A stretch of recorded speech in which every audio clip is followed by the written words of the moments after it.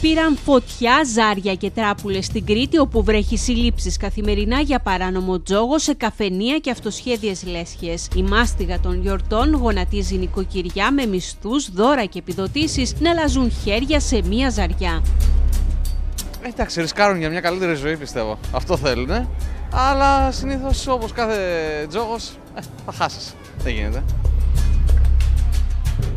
Από την πρόκληση της τύχης μέχρι τον αλόγιστο τζόγο και τον εθισμό οι αποστάσεις μικραίνουν με τις συνέπειες για τους αμετανόητους τζογαδόρους να είναι πολλές φορές συντριπτικές τόσο για τους ίδιους όσο και τις οικογένειές τους. Παίζω κάθε χρόνο αλλά δεν παίρνω τίποτα. Έργο της αστυνομίας η πρόληψη τέτοιων καταστάσεων που έχει αποδειχτεί διαχρονικά τις ημέρες των γιορτών ότι κρύβονται πίσω από αμέτρητα οικογενειακά δράματα. Ο αριθμός των φετινών συλλήψεων αγγίζει τα όρια ενός ακόμη θλιβερού ρεκόρ αφού οι αθρώες συλλήψεις τζογαδόρων γεμίζουν κάθε βράδυ τα κρατητήρια. Μόνο τα τελευταία 24 ώρα οι συλλήψεις ξεπέρασαν τις 20, με πάνω από 12.000 ευρώ να κατάσχονται στην πράσινη τσόχα. Είναι πολύ λυπηρό να δουλεύεις για να χάνεις τα λεφτά σου έτσι χωρίς λόγο και αιτία ουσιαστικά. Περισσότερο όταν έχεις οικογένεια, βέβαια, εννοείται. Γιατί εντάξει, γιατί να στερήσεις από τα παιδιά σου, από τη γυναίκα σου, από τα παιδιά σου πάνω απ' όλα βέβαια, αλλά και τον εαυτό σου ουσιαστικά γιατί νομίζω ότι ας πούμε, η τύχη μπορεί να σε ευνοήσει. OK, okay, ναι, μέχρι ένα σημείο κάποια πράγματα το καταλαβαίνω.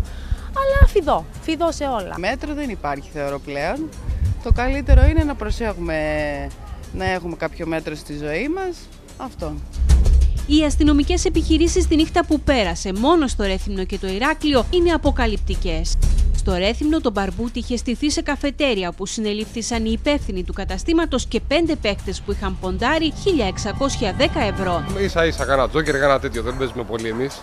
Δεν μας άρεσε, δεν μας άρεσε. Δεν είμαι εναντίον του τζόγου. Και καθόλου ωραίο και δυστυχία φέρνει όλο αυτό. Το παιχνίδι όμως αποδείχτηκε χοντρός στο Ηράκλειο. Ο υπεύθυνος του καταστήματος και οι πέντε παίχτες κατέληξαν στα κρατητήρια. Δεν έριχναν απλά τα ζάρια για να βγει ο νικητής, αλλά όπως αποδεικνύεται έβαζαν και στοιχήματα για την εξέλιξη του παιχνιδιού, ποντάροντας γερά. Οι αστυνομικοί κατέσχεσαν ούτε λίγο ούτε πολύ 8.630 ευρώ, τα οποία δεν πρόλαβε να χαρεί κανείς από τους τζογαδόρους.